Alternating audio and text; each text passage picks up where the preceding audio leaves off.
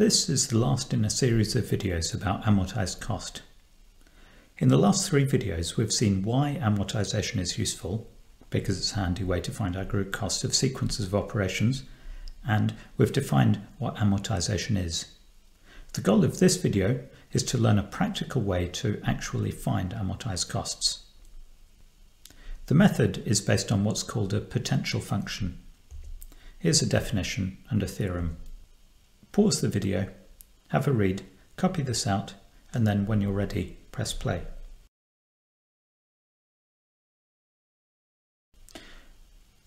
First, a quick note about the definition. It says that phi of empty equals zero. Here, empty refers to the data structure's initial empty state. Second, this theorem has this funny notation S sub ante goes to S sub post with the superscript C. All I mean by this is consider an operation on the data structure where the state beforehand was S ante and the state afterwards is S post and the cost, i.e. the running time of this operation is C. Third, this equation, the equation that defines the amortized cost C prime, this is the shorthand way that we'll usually write it out. C prime equals C plus delta phi. This theorem gives us a simple crank-the-handle way to obtain amortized costs. We simply stick in the potential function and outprop the amortized costs. But this begs the question, how do we invent a potential function? What I hope you'll see from this video is that it's usually pretty intuitive to invent a sensible potential function, much easier than it would be to invent amortized costs from scratch. Let's work through an example. This is the dynamically sized array that we looked at in the last video. In that video, we calculated the amortized cost of appending an item, and we did it direct from the definition of amortized cost. Now let's do the same thing, but this time we're going to use a potential function instead.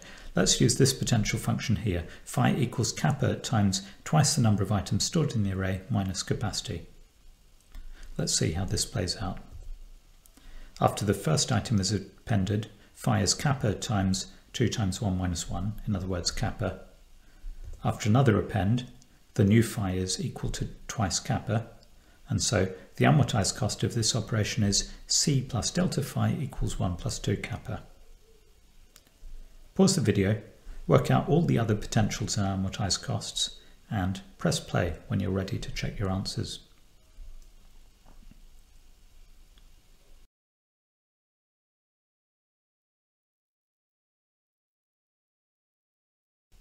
You should have spotted a problem. The problem is the potential at the initial empty state, which according to this formula comes out as minus kappa. That's not allowed. The definition of potential function said it had to be above or equal to zero everywhere and equal to zero at the initial state. We can fix this by choosing a different potential function. This is how we should have defined it. Okay, so with that fix, this fills out the table of potentials and amortized costs. And it's also fairly easy to verify that this proposed phi is a valid potential function. I left in this little gotcha as a reminder that potential function is a term with a specific technical meaning. If, if you propose a phi that fails the definition, then it can lead you to invalid amortized costs. The example sheet will ask you to look at some of the things that go wrong when you use dodgy potential functions. Anyway, what you should have found when you work through all of these cases is that the amortized cost is equal to 1 plus 2 kappa for every single append here, apart from the first where it's equal to 1 plus kappa. So it seems the amortized cost is less than or equal to 1 plus 2 kappa for every single call to append. That is indeed true. Now let's write out a proper justification rather than just illustrations for small examples. Here's the way we'd typically write out an amortization analysis using a potential function. If you're looking closely, you'll notice I've changed the wording here slightly. In this version it now says suppose the cost of writing an item is big O of 1 and the cost of doubling from m to 2m is big O of m. This is the way we usually write about algorithmic complexity using big O notation. There's always a kappa hidden away, but in practice we never write it out. Okay, well, let's go through the analysis. First thing I'd do is I'd sketch out the typical behavior of the potential function just to orient myself. You should have seen when you work through the explicit calculations yourself that the potential function increases bit by bit until the array doubles, at which point it falls back down. So it does this sort of sawtooth.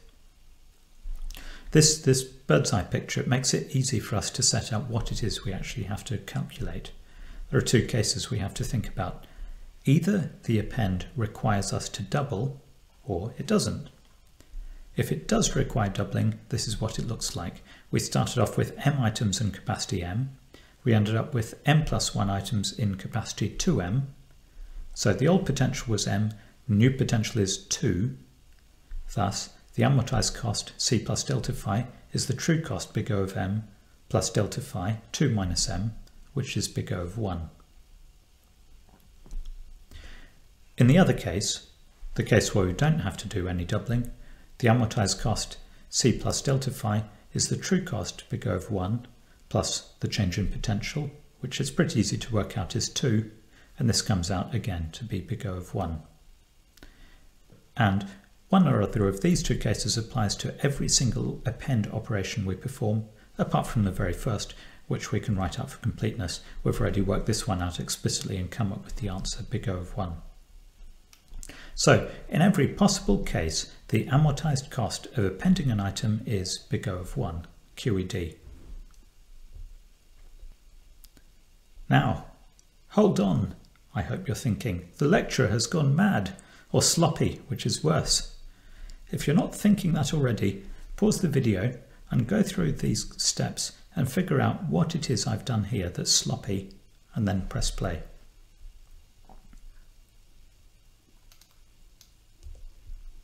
Here's the issue. How on earth can you subtract m from big O of m and end up with the answer big O of 1? What does this even mean? That is an excellent question to ask and the way to answer it is to go back to definitions. Here is the rigorous interpretation of what we're told by the question. It tells us there's some n naught and some kappa greater than 0, such that if we've got an array of size m above or equal to n naught, then the cost of writing in an item is less than or equal to kappa, and the cost of doing the double and copy across and writing in a new value, that is less than or equal to kappa times m.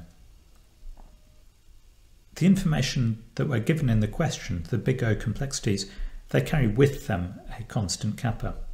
Let's stick that kappa in as a multiplier in front of the potential function. Now we can write out the amortized costs properly and rigorously. The true cost is big O of m, i.e. the true cost is less than or equal to kappa times m, and the change in potential is delta phi equals kappa times 2 minus m. Now these two add together happily and we're left with an answer that doesn't depend on m, and that's what we mean when we write that it's big O of 1. Likewise the next case. Technically the third case is pointless. There's hardly any point even bothering to write out anything here except for these two cases cover every single append apart from the initial append. Okay, so the conclusion we come to in the end that every single append is big of 1 is valid. You're totally welcome to use the sloppy notation, by the way. All this stuff about kappa and the precise definition of big O notation is only so that you feel justified in what would otherwise be a crazy thing to write out.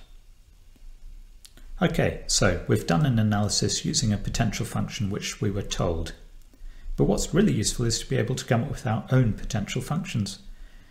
And to help with that, I want to step back from all the calculations we've just been doing and think about what our potential function is actually doing. We have a data structure here which, from time to time, needs expensive housekeeping, namely doubling its capacity. The true cost of this housekeeping step is big O of m, and if we want to argue that the amortized cost is less than big O of m, we need to have a potential function that will drop by m. You can think of the potential function like a bank account.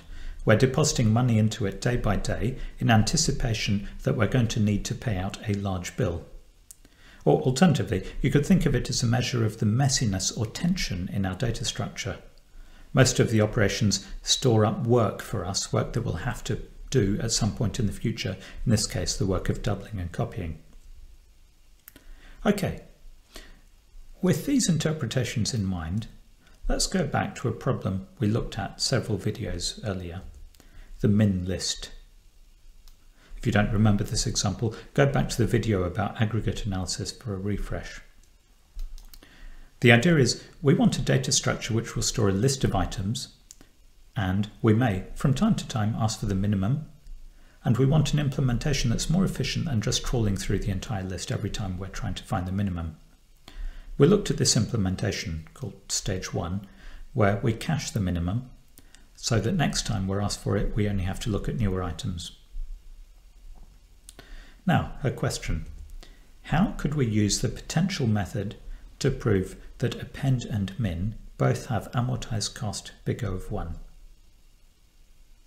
Pause the video, work out your answer, press play when you're ready.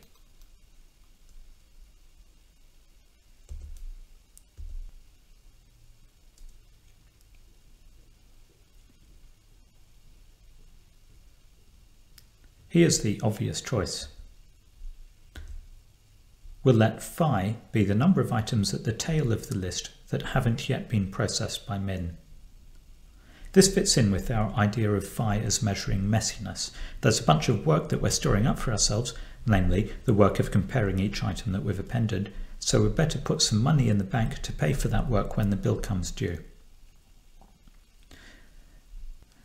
Just a quick aside, don't think of what we're trying to do here as trying to derive the correct potential function. There's no such thing. It's up to us. We're free to choose whatever potential function we want, and different potential functions will lead to different amortized costs. At the end of the day, all that matters is whether the amortized costs we've found are useful. In other words, do they give tight bounds on aggregate costs? If the amortized costs that you've found don't lead to tight bounds on aggregate costs, maybe that's a hint that you need to go back and redesign your potential function. Well, okay, let's look at the amortized costs that we get from this potential. The amortized cost of append is true cost plus delta phi, which is big O of 1 plus 1, in other words, big O of 1. And the amortized cost of the min function is true cost big O of L, where L is the number of items in the tail that we're going to process, plus delta phi, which is minus L. So the total amortized cost, again, is big O of 1. Okay, well, this is a typical piece of amortized analysis. I hope you'll agree that despite all the formal definitions, all the convoluted setup, it all turns out very simple and intuitive at the end. There are plenty more examples of this sort of analysis on the example sheet. And in the next video, we're going to look at a very sophisticated data structure with a very elegant use of potential function for calculating its amortized costs. But before going on to that, I just want to wrap up with a remark about potential functions. We started this video with a theorem, the potential theorem, that says if we define modified costs using a potential function, then we end up with valid amortized costs. I don't want to go through the proof in this video. It's an easy proof, but it's based on algebra rather than on big ideas, so there's nothing to be gained by talking through it. Instead, please go to the printed notes and read it and copy it out and remember it. It is examinable.